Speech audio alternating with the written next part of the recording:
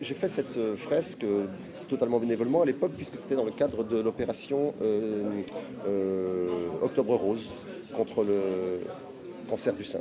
C'était, je crois, si mes souvenirs sont bons, en 2000, je crois que c'était 2014. Ce mur n'avait pas été travaillé auparavant. Hélas, il est un peu humide et la fresque s'est beaucoup dégradée.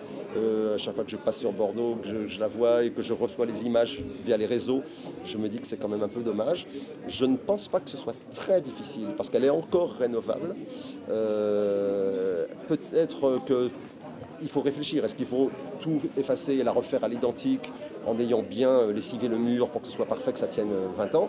Ou est-ce qu'il faut la retaper un peu comme ça? Mais en tout cas, il y a, il y a quelque chose à faire. Il faut Donc, juste le, il faut juste appel décider. Voilà, je lance un appel, il faut juste le décider. C'est-à-dire que c'est une nacelle, quelques pots de peinture ou quelques bombes aérosols pour essayer de lui redonner un petit peu de, de jeunesse.